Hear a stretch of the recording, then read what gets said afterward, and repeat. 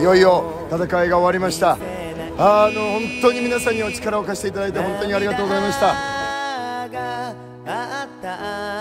一人で始まったこの戦い2人3人と輪が広がって少しずつ少しずつ皆さんの熱い気持ちが輪になって今やこれだけの大きな輪になりました。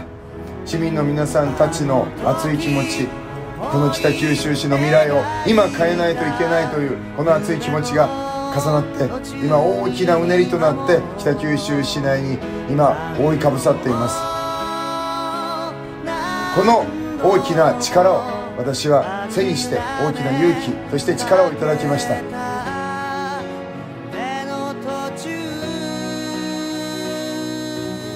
この町に奇跡を起こしましょう。そして北九州市から新しい政治の形日本の未来につながるこの形をぜひ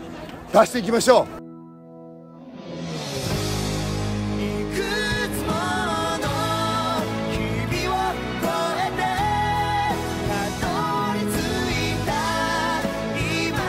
ただまだ勝たなければいけません。勝ってこの町の未来に子どもたちに希望を与えるその結果を出すところまでが私たちの最後の戦いです。この力を必ず形にして私は勝利をして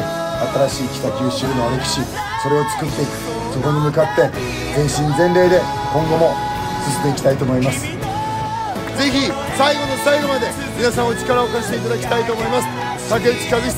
どうぞ皆さんよろしくお願いします。ありがとうございました